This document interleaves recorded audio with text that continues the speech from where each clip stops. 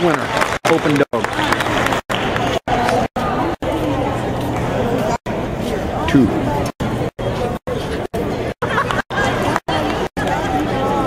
Three and four. open dog. Beautiful breed type, um, good body proportions, very masculine head, not overly angulated, but is able to use what he's got very effectively. Um, great side gait, lots of rear extension, and, and a good front, and carries the stop line.